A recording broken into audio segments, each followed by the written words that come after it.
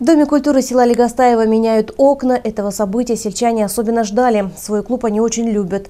Ежедневно в него приходят полсотни человек заниматься по интересам.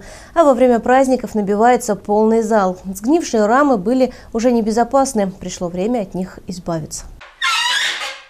Старый блок библиотеки выламывают без всякого сожаления. Культработники помнят, как однажды во время урагана отсюда уже вываливалась рама. А ведь сюда за книгами ежедневно ходят дети и взрослые. Фонд большой – 14 тысяч экземпляров. Теперь будет у нас все по-новому, красиво, светло, тепло, просторно с окнами. Шесть окон библиотеки и еще два по соседству в музейной комнате. Здесь хозяйничает ветеранский актив села. Экспонаты берегут. Прямо сегодня экспозиция пополнится еще. Родные Михаила Ковардакова принесли фотографию и альбом. Как только ремонт закончится, все эти реликвии займут свое почетное место. В музее тоже станет светлее и теплее. На первом этаже работы уже завершены. У нас Семен Сергеевич Серков был первым директором этого ДК. Сейчас он уже э, не выходит практически как бы далеко, как сказать, но сказал, что как окна все вставят, вы меня меня пригласите, я обязательно приду и посмотрю.